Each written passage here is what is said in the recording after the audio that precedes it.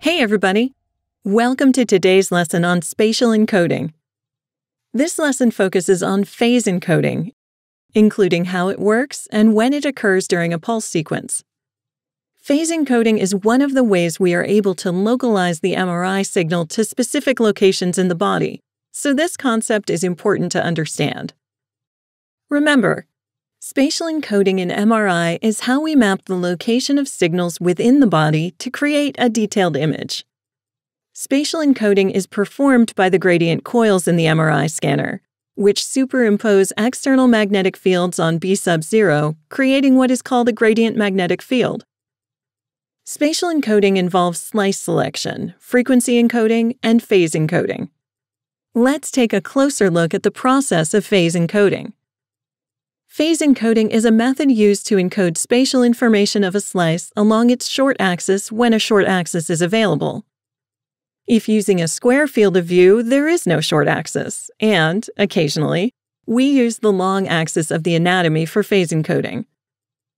Phase encoding works by varying the phase of the magnetic spins in the tissue using a gradient magnetic field. Phase encoding occurs through the application of a phase encoding gradient, or PEG. This gradient is turned on just before the 180 degree rephasing pulse in a spin echo sequence, and briefly turned on between the excitation pulse and the signal acquisition in a gradient pulse sequence. When the phase encoding gradient is applied, it causes the spins of the magnetic moments in different locations along the gradient to precess at different rates, depending on their position along the gradient axis. As the magnetic moments change their precession speed, their frequencies change as well. This is called phase shift. Remember, the speed of precession is directly related to the strength of the magnetic field. The strength of the magnetic field can be measured in Tesla or Gauss.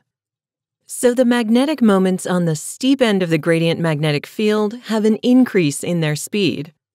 This means they move further along their precessional path than they would have if we had not applied the PEG. The magnetic moments at the shallow end of the gradient magnetic field have a decrease in their speed. This means they move less along their precessional path than they would have if we had not applied the PEG.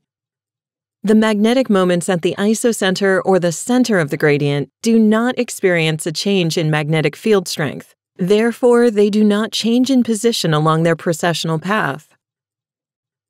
Because the magnetic moments are now in different positions along their precessional paths, the MRI system can differentiate between nuclei positioned at different locations because their signals are now different from each other.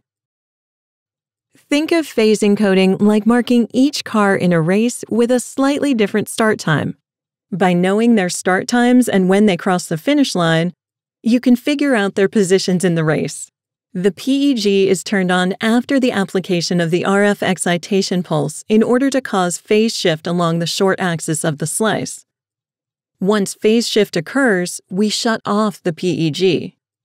This allows the magnetic moments to return to precessing at the Larmor frequency, but the phase shift stays until all signal is lost or another gradient is applied.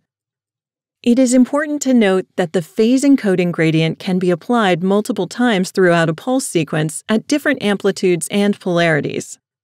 This will be discussed in more detail in a different lesson. A steep phase encoding gradient causes a large phase shift with many phase positions, like 8 p.m. to 4 a.m. on a clock face. A shallow phase encoding gradient causes a small phase shift with fewer phase positions, like 11 p.m. to 2 a.m. on a clock face. In an MRI scanner, the phase encoding is performed by specific gradient coils. The coil responsible depends on the desired imaging plane and the exam being performed. Let's take a look at a question to check your understanding. When magnetic moments are positioned at the steeper end of a gradient magnetic field during an MRI scan, how does their precessional frequency change? A. They precess at a faster rate than those at the shallow end of the gradient. B. They precess at a slower rate than those at the shallow end of the gradient. C. There is no change to their precessional rate. D. They reverse the direction of precession. Take a second and figure it out on your own. The correct answer is A. They precess at a faster rate than those at the shallow end of the gradient. This is because the strength of the magnetic field is higher at the high end of the gradient, causing the magnetic moments there to experience a stronger magnetic influence. As a result, their precessional frequency or Larmor frequency increases, leading them to precess faster compared to magnetic moments at the lower end of the gradient. In summary, phase encoding is a method used to encode spatial information of a slice along its short axis. It works by varying the phase of the magnetic spins in the tissue using a gradient magnetic field. When the phase encoding gradient is applied, it causes the spins of the magnetic moments in different locations along the gradient to precess at different rates, depending on their position along the gradient axis.